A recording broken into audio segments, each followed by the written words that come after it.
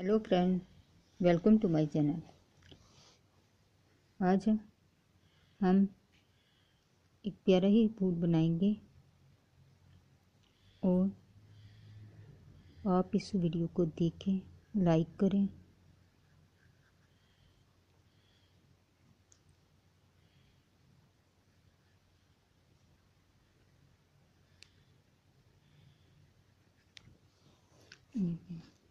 ये सुरख और maroon shade में फूल बना रहे हैं। ये पेंटिंग आप खुद भी करें और अपने बच्चों को भी सिखाएँ। ये पेंटिंग बना के हम फ्रेम करके अपने घर की सजावट के लिए भी इस्तेमाल कर सकते हैं।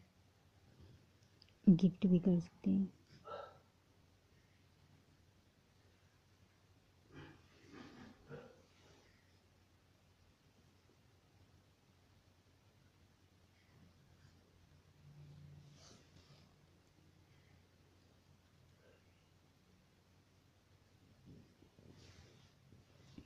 फैब्रिक पेंटिंग में और पेंटिंग में। ये फ़र्क होता है कि हमारे कलर मुख्तलिफ़ होते हैं और हम सेम तरीके से इसे बनाते हैं।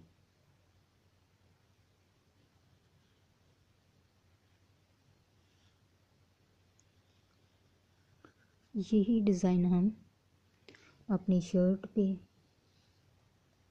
दुपट्टे पे भी बना सकते हैं।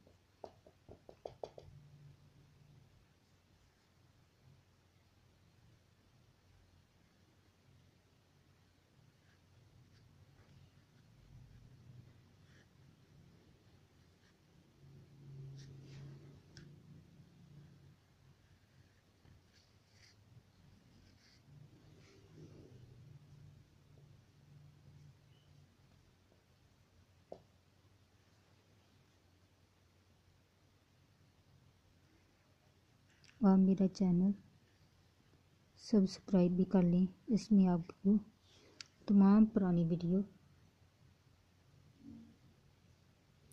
मिल जाएँगी, जो कि बहुत अच्छी हैं, जिसमें मैंने कलर के बारे में बताया।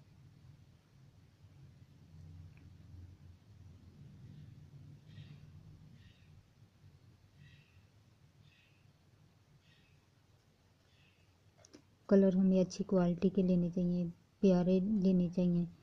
थोड़े से महँगे तो होते हैं, लेकिन उसमें शेड जो होता है, माशाल्लाह बहुत प्यारा आता है। उसमें हमें खुद इतनी मेहनत की ज़रूरत नहीं पड़ती।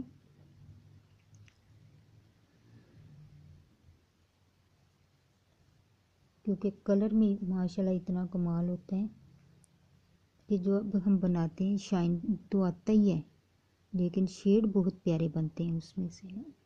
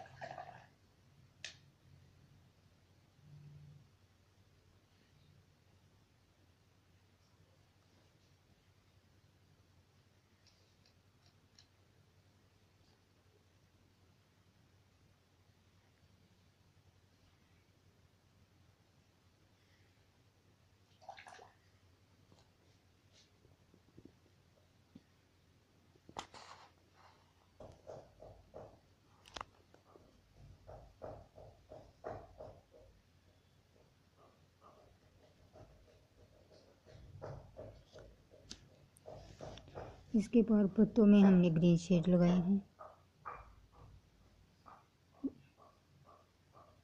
जैसा कि मैं अपनी तमाम वीडियो में बताती हूँ कि एक ही शेड से हम दो शेड भी बना सकते हैं और उसे ग्रीन को डार्क करने के लिए उसमें हल्का सा ब्लैक भी मिला सकते हैं, लाइट करने के लिए येलो मिला सकते हैं।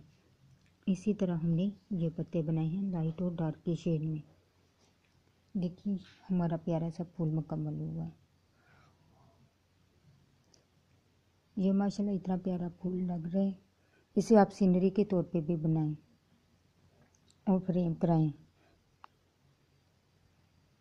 आप मेरी वीडियो को लाइक करें, चैनल को सब्सक्राइब करें। In next day, next video के साथ हाज़िर होंगे। अल्लाह हाफिज़।